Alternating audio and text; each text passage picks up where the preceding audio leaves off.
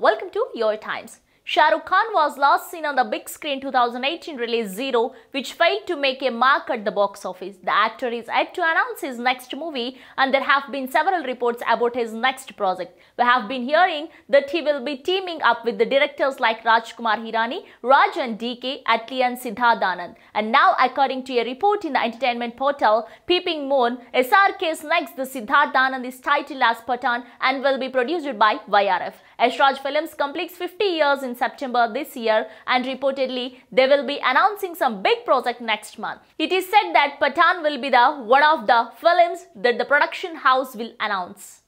Pathan is said to be an action entertainer and the makers were planning to shoot the film at some wonderful locations just like War, also directed by Anand. However, due to the pandemic, the makers will look out for some other options and they are planning to release the film on 2nd October 2021. Reportedly, YRF is planning to rope in Deepika Padukone opposite Shah Rukh Khan in the film. Deepika and SRK have earlier worked together in the films like Om Shanti Om, Chennai Express and Happy New Year. Well, if this report turns out to be true, we are sure fans of Shah Rukh Khan will be super excited for Pathan. Meanwhile, we will get to see SRK in a Brahmastra in which the actor has a cameo.